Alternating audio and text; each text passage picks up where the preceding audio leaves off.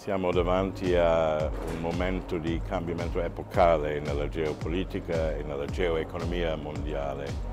È un momento in cui da un lato abbiamo una guerra in Europa e dall'altro abbiamo un'economia mondiale che purtroppo soffre pesantemente a causa di questa guerra, sia in termini di prezzi di energia e inflazione, sia in termini di deglobalizzazione, sia in termini di uh, problemi con la catena di fornitura, quindi ci sono tanti problemi uh, uh, creati.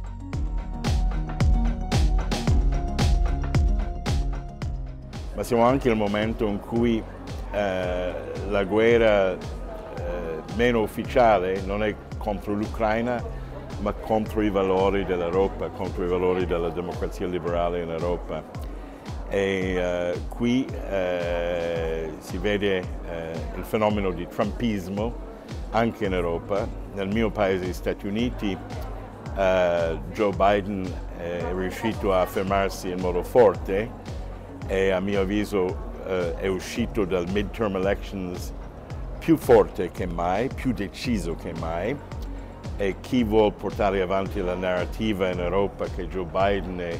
rincoglionito o in qualche modo solo un gaffeur, un goffo,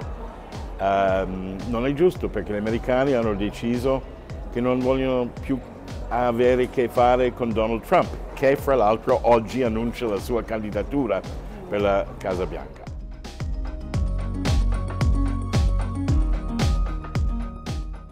punto di partenza per me è il messaggio non del tutto confortante che alcune cose non torneranno mai come prima. Innanzitutto la guerra di Putin eh, fermerà quando Putin smette di bombardare i civili in Ucraina. Eh, gli ucraini hanno ripreso il 50%, la metà del territorio che Putin aveva preso da febbraio e quindi io mh, temo che avremo una guerra semi-congelata in cui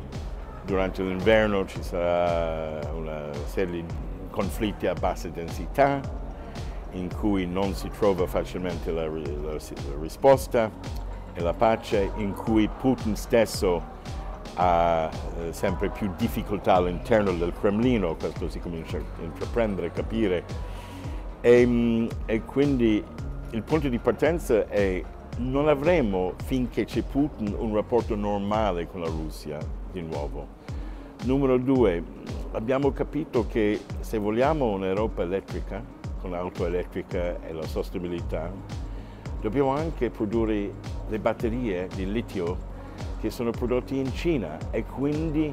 in America Biden ha fatto 50 miliardi di dollari di nuovi investimenti per creare nuovi um, stabilimenti per semiconduttori per questo. L'Europa deve anche arrivare a essere più autosufficiente.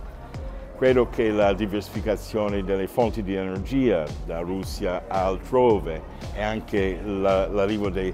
rinnovabili sarà tutto accelerato da questa guerra. E poi c'è il ruolo della Cina, dove Trump ha fatto una uh, politica molto aggressiva contro la Cina, Biden l'ha continuata, sono incoraggiato in senso positivo che a Bali, al G20, finalmente Biden ha adottato un approccio diplomatico in cui non si attacca pubblicamente la Cina, ma si ragiona in privato sui temi che sappiamo esistono, dall'economia al clima ai diritti umani. Ma mh, mm, eh, la lezione qui è che si ottiene di più nella politica internazionale quando si parla in privato e non facendo provocazione. Un esempio negativo è Giorgio Meloni e Matteo Salvini e il fatto che hanno provocato, quasi studiato a tavolino, una crisi dei migranti, un conflitto diplomatico con la Francia e un isolamento dell'Italia in Europa dopo due settimane di governo. E questo mi dispiace molto perché l'Italia è passata dal più grande statista del, del XXI secolo, se non da tanto tempo, in Mario Draghi, il più grande illustre statista, un prestigio per l'Italia importante, a un paese che adesso si mette insieme con Cipro, Malta e la Grecia per attaccare l'Europa sui migranti. Cipro, Malta e la Grecia. E gli ammiratori di, del governo italiano sono in Ungheria e in Mar-a-Lago, in Florida. E quindi temo che c'è un uh, errore di tempistica da parte dell'Italia perché mentre in America Biden è forte, in Inghilterra i laboristi tornano, in Germania c'è una socialdemocrazia, in Francia c'è Macron moderato, in Italia c'è ancora il fallito trumpismo che oramai è screditato pure gli Stati Uniti e potremmo averlo per cinque anni dall'Italia e questo secondo me danneggia l'interesse dell'Italia e l'Europa.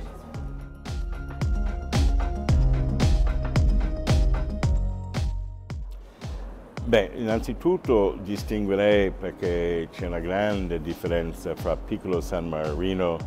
e piccolo Andorra e Monte Carlo. Monte Carlo mh, mm, è un uh, paese uh, molto più importante con um, uh, capitale e, e, forza economica molto più importante di San Marino Andorra, quindi il fatto che questi tre si sono messi insieme capisco il perché, ma è Monte Carlo di cui vorrei rispondere, non gli altri. San Marino credo che abbia delle grosse difficoltà e avrà difficoltà nei rapporti con l'Europa, mentre Monte Carlo, secondo me, Monaco ha più chance di trovare un via di mezzo e fare un accordo con l'Europa che può essere di uh, beneficio reciproco. Che non vuol dire che Monte Carlo deve smettere di essere Monte Carlo, vuol dire trovare delle uh, cose in comune che, su cui si può collaborare seppure la Svizzera, che è stato per sempre neutrale, adesso si schiera sempre di più con il gruppo Schengen e con l'Europa, anche Monte Carlo.